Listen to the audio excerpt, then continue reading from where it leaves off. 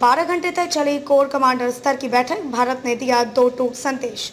वास्तविक नियंत्रण रेखा पर जारी तनाव को कम करने के लिए दोनों देशों के बीच मंगलवार को चुशुल सेक्टर में कोर कमांडर स्तर की बातचीत हुई। सेना के सूत्रों ने बुधवार को कहा कि भारत और चीन की सेनाओं के बीच बैठक का तीसरा दौर 12 घंटे तक चला।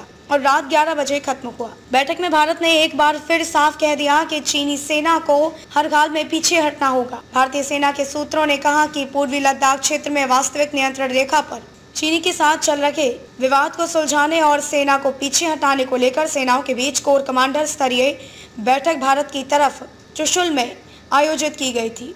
इससे पहले एलएसी पर दो दौर की बैठक चीनी की तरफ़ मोल्डो में हुई थी।